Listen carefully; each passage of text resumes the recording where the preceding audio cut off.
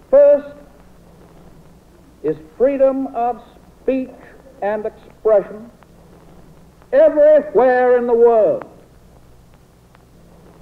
The second is freedom of every person to worship God in his own way everywhere in the world.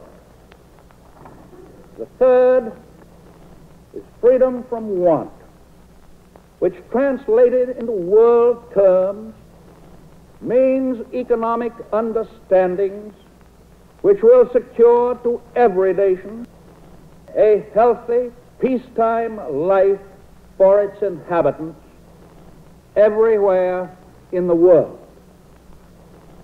The fourth is freedom from fear, which translated into world terms means a worldwide reduction of armaments to such a point and in such a thorough fashion that no nation will be in a position to commit an act of physical aggression against any neighbor anywhere in the world.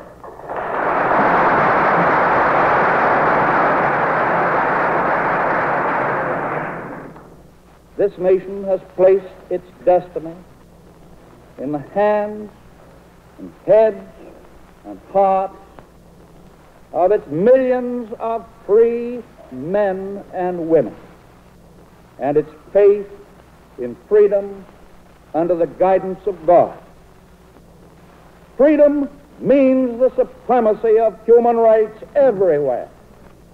Our support goes to those who struggle to gain those rights and keep them. Our strength is our unity of purpose to that high concept there can be no end save victory.